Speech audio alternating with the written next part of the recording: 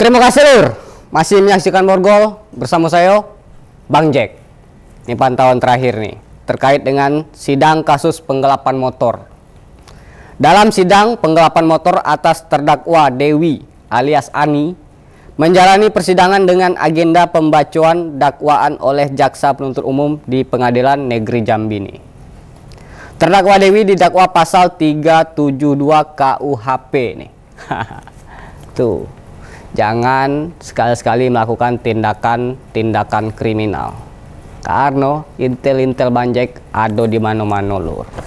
Yang mana pantauannya? Ini dia pantauan Bang Jack. Terdakwa Dewi alias Ani menjalani persidangan terkait kasus penggelapan motor di Pengadilan Negeri Jambi Selasa 22 November 2022.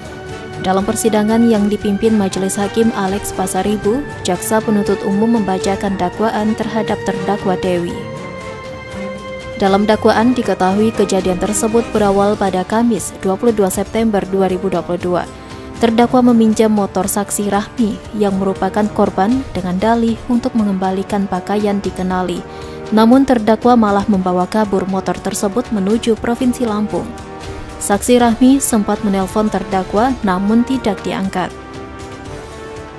Terdakwa terhenti di Babat Supat, Provinsi Sumatera Selatan dikarenakan kehabisan bensin. Belum sempat menjual motor tersebut, terdakwa diamankan pihak kepolisian setempat. Atas perbuatan terdakwa sebagaimana diatur dan diancam pidana dalam pasal 372 KUHP. Diketahui kerugian korban diperkirakan mencapai 18 juta lebih. Iqbal, Fazil, Jek TV melaporkan.